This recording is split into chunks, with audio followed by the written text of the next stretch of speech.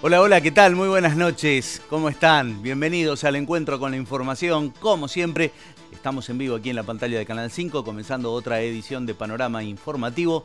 Somos el equipo de Montecarlo Visión y Comunicación y hasta las 21, como todos los días, de lunes a viernes, les vamos a contar lo importante, lo que usted tiene que saber que está pasando acá en nuestra localidad en Montecarlo y en la provincia de Misiones. Mucho para compartir, así que bienvenidos, acompáñennos. Estos son los títulos del día.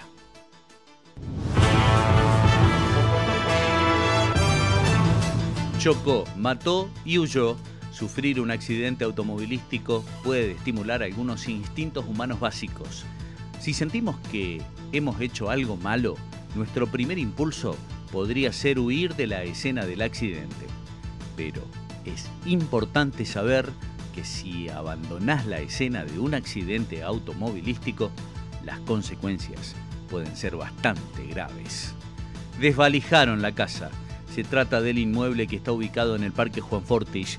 La casa es habitada por una persona que se dedica a realizar trabajos de mantención del parque. El hecho habría sucedido el lunes.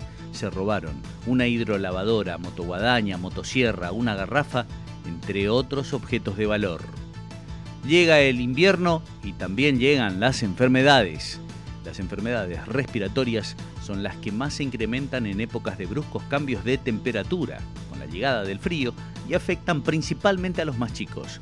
El sistema inmunológico de los niños no es aún maduro como el de los adultos y esto los hace especialmente vulnerables a las bajas temperaturas.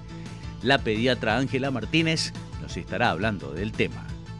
Nueva comisión después de concretar la asamblea para la renovación de los integrantes de la comisión directiva en el hogar de niños Divina Misericordia de Jesús, recientemente se concretó la distribución de cargos. En panorama informativo, dialogamos con la nueva secretaria del organismo, Janina Krieger, que nos informa sobre la conformación de la comisión y los trabajos ya definidos.